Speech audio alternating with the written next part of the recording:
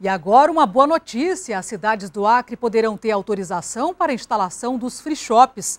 Antes, somente portos e aeroportos tinham lojas francas. Agora, com a lei aprovada pelo Congresso Nacional, as cidades e pessoas que se locomovem em veículos nas regiões de fronteira serão beneficiadas. A ideia da lei é estimular o consumo de produtos nacionais pelo turista em razão do preço menor cobrado nessas lojas, por causa da isenção dos tributos de importação. Mercadorias importadas também podem ser compradas nesses estabelecimentos com suspensão de tributos.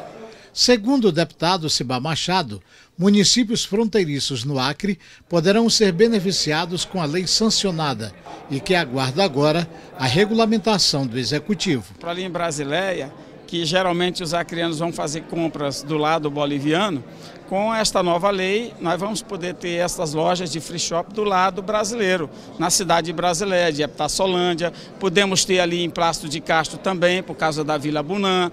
Temos essa probabilidade em Guajaramiri, temos a possibilidade lá em Assis Brasil, como diversos outros estados brasileiros. Ainda não foram especificadas todas as regras sobre os tipos de produtos que serão isentos, limites de valores em compras, entre outras informações necessárias para os empresários. A empresa interessada em abrir um free shop deve possuir o Cadastro Nacional de Atividades Econômicas do CNPJ e estar localizada na sede do município fronteiriço.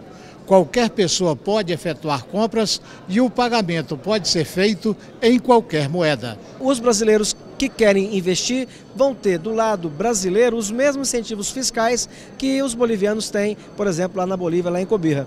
Então, ah, com certeza, nós vamos ter agora free shoppings do lado brasileiro com as mesmas facilidades para que os brasileiros possam comprar do que tem hoje na Bolívia.